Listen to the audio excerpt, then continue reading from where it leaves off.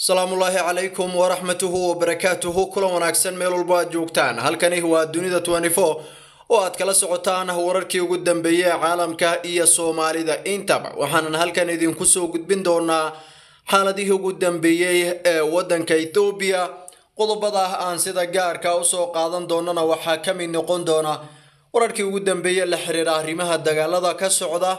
waddankaasi iyo dabka oo weli sii holcaya waa dabka dagaalke sidoo kaleeto waxa aad ku maqli doontaan halkan haddii uu rabi raalli ka noqdo. Dowladda oo sii wada tallaabooyinka kala duwan ee ay ka qaadayso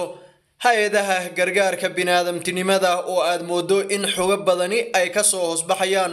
kuwaasi oo lagu basaasaya amaba dhibaatooyin loogu geysanaya dowladda federaalka ethoobiya waa sidaa hadda ay dowladdu hadalladeeda u dhigayso amaba warbaahinta maxalliga gudaha waddanka ethoobiya kuwa madaxa bannaan iyo kuwa dhinaca dowladda u janjeera intuba ay warinayaan. Waxaa kale oo aad ku daawan doontaan barnaamijkan madaxa hay'adda gargaarka caalamiga ka shaqeysa ee waddanka maraykanka laga leeyahay ee u s aid samatha power. Oo waddanka ethoobiya ku sugnayd maalmihii la soo dhaafay ayaa iyaduna quus ka gaartay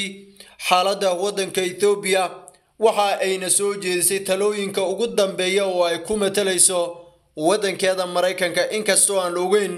dowladda maraykanku inay aqbali aan idhaahda ethoobiya aqbali doonto iyo inii kaleeto ra'iisul wasaarahana ma aysan la kulmin. Inkasta oo ay la kulantay qaar ka mid a madaxda kale ee dowladda ethoobiya oo ay ka mid yihiin wasiirada waddanka ethoobiya wasiirka arrimaha dibadda ee waddanka maraykanka antony pilken ayaa isaguna waxa uu arrinta ethoobiya iyo xaaladaha ka taagan waddanka ethoobiya kala hadlay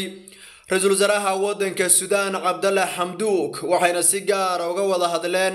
arrimaha la xiriira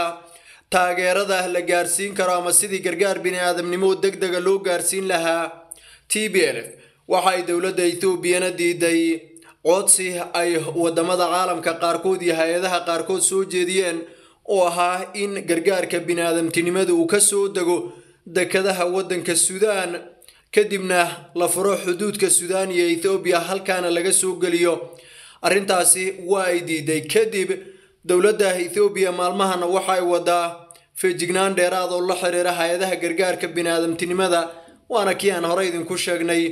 in msf holland hay'adda norway refugee iyo sidoo kaleeto hay'ado kaleeto ay ka mid tahay hay'adda almaktuub oo laga leeyahay imaaraadka carabta dhammaantood laga cayriyay waddanka ethoobiya ruqsadihiina lagala laabtay kadib baaritaano lagu sameeyey shaki laga qaaday hay'adahaasi. Waxaa sidoo kaleeto maqribnimadii xalayto ay soo bandhigtay dowladda ethoobiya lacag aada u tiro badan oo ay sheegeen in hay'adda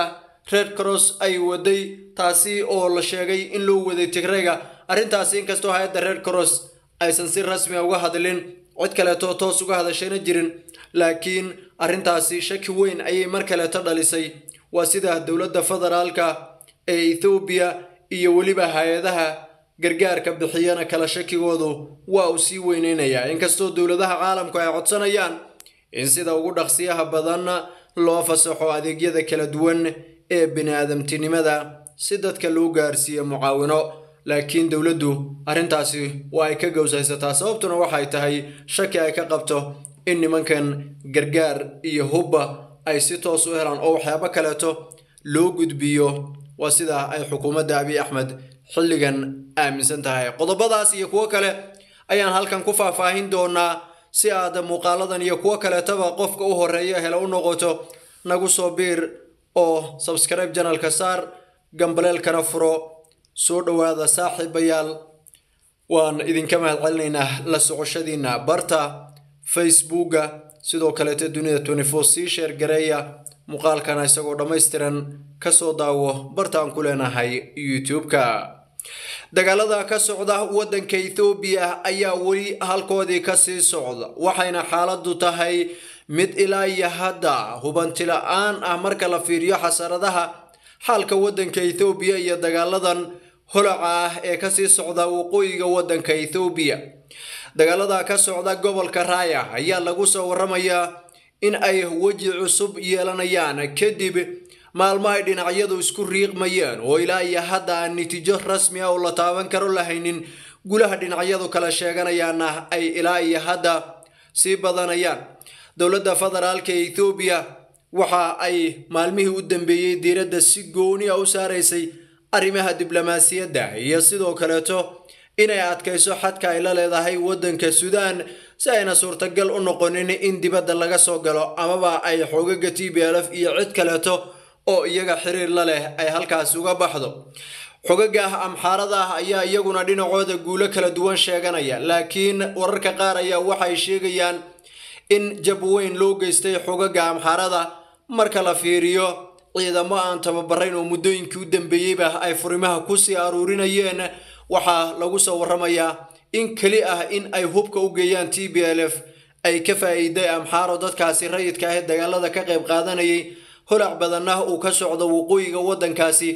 Guulaha inta u badanna t b l f ayaa sheeganaysa laakiin wararkaasi ma aha kuwo si rasmi a loo xaqiijin karo marka la fiiriyo. Xaaladdu sida ay tahay iyo inaysan jirin ilo madax bannaan oo halkaasi ka soo warramaya. Dagaalada ka socda waqooyiga waddanka ethoobiya gaar ahaan gobolka raaya waxaa jirta magaalooyin iyo deegaano hor leh xoogaga t b l f ay si toosa ula wareegeen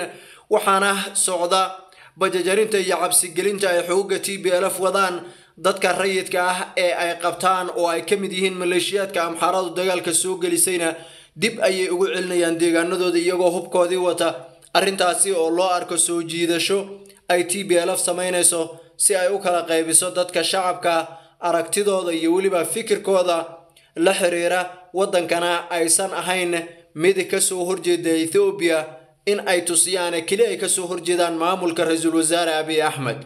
sidoo kaleeto dagaalada halkaasi ka socda waxaa jirta warar sheegaya in kooxda t b l f ay ilaa iyo hadda ku gacan sarrayso waxaana kale oo jirta in maleeshiyaadkii deegaanada kaleeto laga qaaday aysan ilaa iyo hadda wax dagaalaba si toosa u gelin bale ay korka ka fiirsanayaan arrimahaasina ay sababta ugu badan leeyihiin ciidamada milatariga oo iyaga laftoodu aan dagaalkan haba yaraatee gelaynin. Ilaa iyo haddana waxaa isbedela oo waaweyn oo dhinacaasi dagaalada ma jiraan keli ah dagaallo ayaa si weyn halkaasi uga socda. Natiijadoodana aan wax badan lagu ogaan karin laakiin guulo la kala sheeganayo xilliga ay soo gabagaboobayaan aan war loo haynin dhinaca deegaanka canfarta dagaalada ka socda ee u dhexeeya dowladda federaalka ee ethoobiya iyo sidoo kaleeto dhinacyada taageeraya huwanta iyo xogaga t b l f ayaa iyaguna halkoodii ka sii socda inkasta oo ay yihiin dagaalo goosgoos ah oo ayna dhimasho badan iyo weliba khasaare aada u badan lahayn. Marka loo fiiriyo dhinaca waqooyiga oo si weyn la isugu riiqmay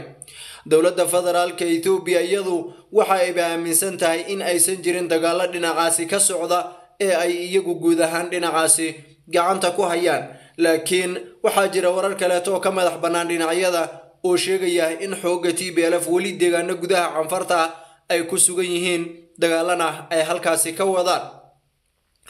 Waxayna wararkii u dambeeyey sheegayaan in taliyihii ciidamada liyuuga ee deegaanka canfarta uu ku biiray xogaga t b l f. Waxa uuna sheegay in maamulka canfarta uu been iyo bakti u sheegay dadkooda. Wixii hadda ka dambeeyana ay arrintaas iyada la fahmeen ayna si toosa dagaalka uga qayb qaadan doonaan isaga oo sheegay in isaga iyo ciidamo wato ay ku biireen xogaga t b l f.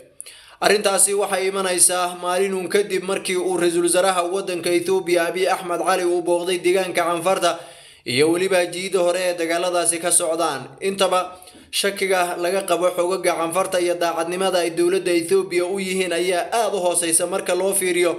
Tan la filayo in ay u yihiin xogaga t b l f oo dad badani ay aaminsan yihiin maamulka canfartu inuu yahay mid ka mid a maamulada ugu siyaasada badan markii la fiiriyo qaabka ay u fahmeen in dhinacyada ay meel kasta kula daartaan. Cid kastana ay la qaataan waxooda t b l f na ay lug kula jiraan dhinaca dowladdana lug inay kula jiraan ayay wararka ugu badan